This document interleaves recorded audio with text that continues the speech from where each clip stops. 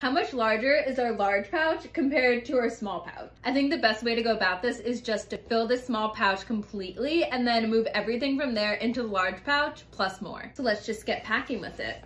Then we put post-it notes inside these little compartments back here. And then we'll do three more on the other pocket. We can put some pens and pencils in this little back pocket back here. One, two, three, four, five, six, seven, eight, nine, ten. And then let's fill the main compartment. So far 32, 38, 39, 40. Okay, so 40 pens, pencils, markers, all of those things are in here, plus six Post-its. Now let's move everything from our small pouch into our large pouch.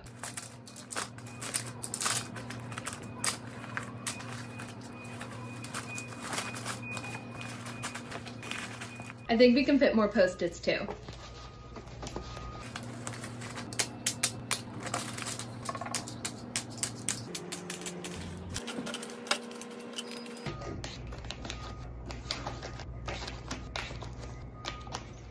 All right, 62 pens, pencils, markers, and double the amount of post-it notes fit in here.